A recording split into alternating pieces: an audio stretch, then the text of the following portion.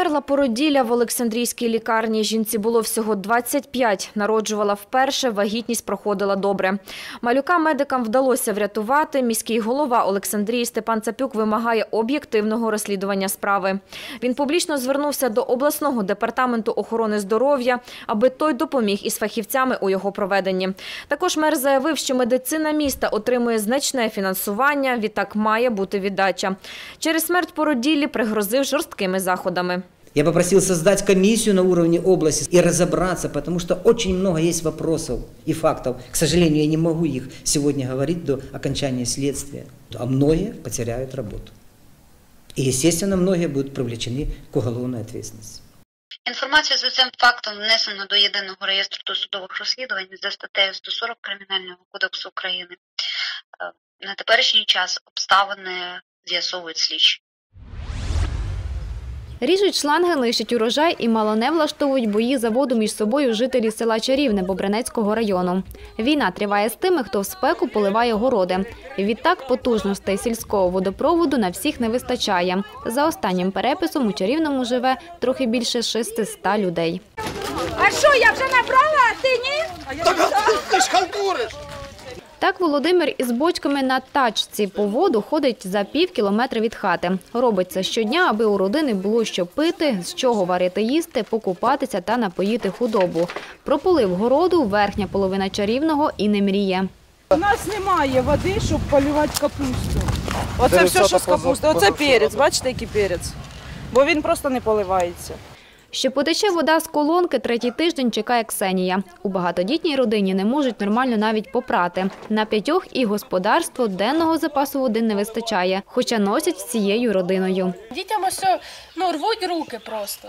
Ходять, хазяйство море. У нас машинка автомат, ми не можемо нею постирати. Просто не можемо, стираємо руками. А в нас нічого немає, ні одного колодця в селі, ні скважини, просто ось колонка. Єдина система водопостачання села – це застарілий водогін, збудований за радянських часів. Ним люди вимушені користуватися й досі. Воду качають із обмілілого ставка. Її вистачило б на всіх хоча б погодинно, якби жителі нижніх вулиць не поливали городи. Прохання було у вигляді оголошення, що в зв'язку з тим, що не вистачає потужностей водопроводу, просимо тимчасово не поливати городи. Чи всі селяни дотримуються рекомендацій, жителі верхніх обезводнених вулиць пішли перевіряти.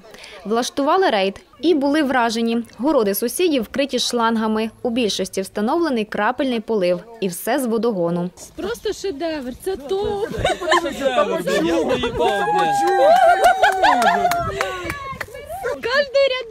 Шланги, обурені жителі верхніх вулиць Чарівного, взялися вирізати. Так, хочуть бодай трохи відвоювати довгоочікуваної води для своїх осель. Що ви зайшли взагалі то сюди?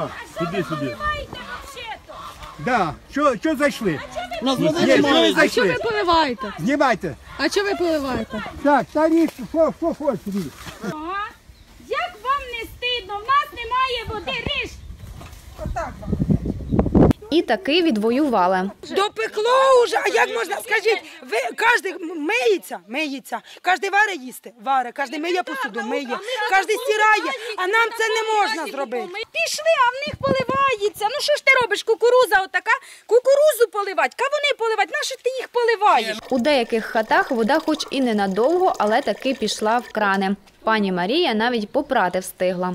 Таким чином, бо вода побігла. Але чи буде вода далі, селяни не впевнені. Жителі нижніх вулиць від поливу відмовлятися не збираються. Що це хорошо? Ти Що та труба, вона в мене чи вода буде, чи води не буде, вона в мене там і стоятиме.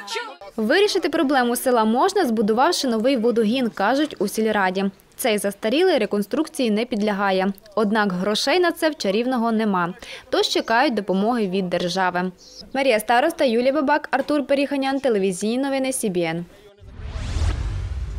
Апеляційна палата Вищого антикорупційного суду відмовила у пом'якшенні запобіжного заходу начальнику патронатної служби облдержадміністрації Сергію Шевченку. Чиновника підозрюють у посібництві в отриманні хабара екс-голові ОДА Андрію Балоню в особливо великому розмірі. Апеляційна палата залишила в силі запобіжний захід у вигляді тримання під вартою з можливістю внесення застави у розмірі понад 5 мільйонів гривень. Заставу підозрюваний уже вніс. Що сьогодні апеляційна палата Вищого антикорупційного суду розглянула його апеляційну скаргу і відмовила в її задоволенні. Кандидатуру в очільники Кіровоградщини запропонувала громадська рада при облдержадміністрації. Члени дорадчого органу бачать керівником регіону Олександра Гавриленка. Відповідне звернення адресують президентові. У ньому наголошують, що область має очолити той, хто її знає, знає не лише про проблеми, а також і про шляхи їхнього вирішення. Олександр Гавриленко чотири роки з 2015-го сам очолював громадську раду при облдержадміністрації. Йому 47 років. Є директором агенції регіонального розвитку Кіровоградщини. бачення не тільки моє особисте, а бачення громадськості, е, та також депутатів.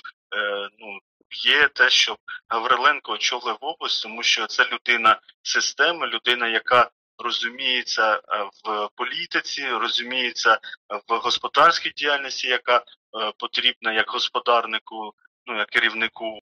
Також е, має комунікаційний е, такий ну характер, де е, допомагає йому налагодити і не тільки в одну, скажімо так, в одному напрямку, а в різних напрямках. Понад три десятки жителів Петрівського, Долинського, Бобринецького, Устинівського і Новгородківського районів влаштували пікет під стінами Долинського комбікормового заводу. Люди орендували елеватори підприємства, аби зберігати там свій врожай. Коли настав час забрати зерно, його не віддали. У 2018 году я здав зерна е, насіння соняшника 315 тонн на суму 2 мільйона 500 тисяч і положив його на хранення. Я приїхав сюди за грішми лічно, я відмічав собі. 84 рази село Івановко Долинське, ну, Василі Боковенька. Должно 177 тисяч гривень. Для сільського жителя, який уклав, ну, починав із самого нуля, не було ж ні трактора, нічого. Ми усі гроші вкладали в реманент, в трактора, в добриво. Це. І потім із нашого обіходу, ну, наприклад, для моєї сім'ї це бешені гроші. Серед ошуканих директор Новгородківського професійно-технічного училища Олег Вєтров. Він розповідає, навчальний заклад має свої землі, які щороку обробляють. Відтак мають врожай. Його продають. Зароблені кошти адміністрація училища витрачає на ремонт приміщень і сучасне обладнання. Два роки тому заводу на зберігання віддали насіння соняшника та кукурудзи. Нині підприємство заборгувало училищу півтора мільйона гривень. Е, На порядку денному це відбудова нової лабораторії кухарів. Сьогодні у нас е, на черзі стоїть трактор, без якого ми не можемо просто працювати на землі. Сьогодні у Долинському районі у нас наше відділення, яке потребує теж капіталовкладень, починаючи від парт, закінчуючи опаленням і вікнами. Півтора мільйона для навчального закладу це дуже великі кошти.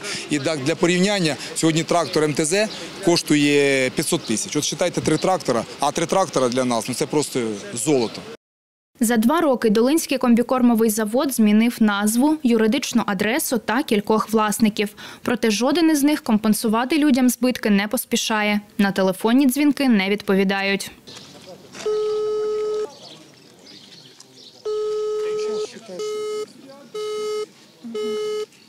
Нинішній керівник комбікормового заводу Микола Хурсович до мітингувальників не вийшов.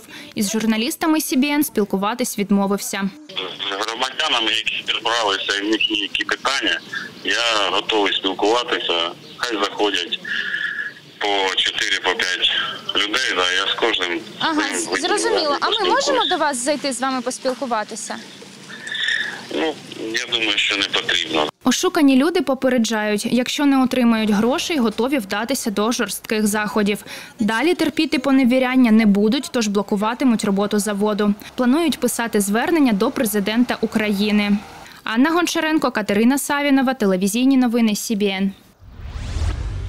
Апарат здатний безпечно для людини очищувати повітря від вірусів, що є збудниками COVID-19, презентували у Кропивницькому. Його розробники, засновники місцевої компанії «Екотепло» пояснюють, бактерицидний рециркулятор кварцує приміщення площею до 30 квадратних метрів. Його можна програмувати. Придатний він як для домашнього використання, так і для лікарень, дитсадків, навчальних закладів. Замовити його можна на сайті виробника. Він рециркулює повітря у кімнаті. Тобто, е, за рахунок примусової вентиляції, яка стоїть всередині корпусу, е, в нього попадає повітря, яке є загальне у кімнаті. Воно проходить через спеціальну лампу бактерицидну яка має випромінювання е, з значить, світовою гамою ультрафіолетовою 253,7 нанометра. Що е, відбувається взагалі з вірусами та бактеріями, коли вони підпадають під це випромінювання? Е, Їх, е, значить, це випромінювання воно розрушує їх або структуру ДНК, або взагалі знищує. Відновлений барельєф на честь засновниці Долинської Ольги Долинської повернули на місце. У червні на другий день після встановлення його пошкодили вандали, тож довелося демонтувати. Реконструкцію здійснив майстер у Кривому Розі. Барельєф відкрили до 175-ї річниці з дня народження Ольги Долинської. Встановили його на фасаді залізничної станції. У 19 столітті засновниця міста безплатно віддала під будівництво залізниці і станції власні землі. Після там заснували місто, яке назвали на її честь. Це реставрація була, і вони погодилися, ці хлопці, які виготовляли скульптор, архітектор, вони безкоштовно погодились поновити її. Зону відпочинку на березі річки Березівка в Устинці облаштовують активісти. Ініціатива належить тамтешній молодіжній організації Гелі Антус. Ідею підтримали очільник району та селищний голова. До створення локації для відпочинку долучилися і жителі. Уже прибрали територію, берег і дно пляжу засипали відсівом, встановили урни для сміття та декоративний стіл зі стільцями. Облаштувати відпочинкову зону продовжать 10 липня. Планується, що зробити? Це ще розширити зону з піском, встановити е, місце для того, щоб можна було щось приготувати, там мангали і так далі. Встановити, можливо, якісь е, гойдалки. От, і ті ініціативи, які будуть ще далі по облаштуванню цієї території від молодіжної організації е, виникати, вони будуть їх давати, ми будемо їх допомагати реалізовувати.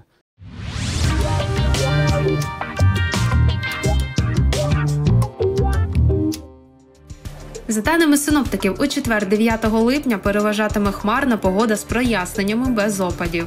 Вітер північно-західного напрямку зі швидкістю 5-10 метрів на секунду. По області в день температура повітря становитиме від 20 до 25 градусів тепла, вночі 11-16 градусів із позначкою плюс.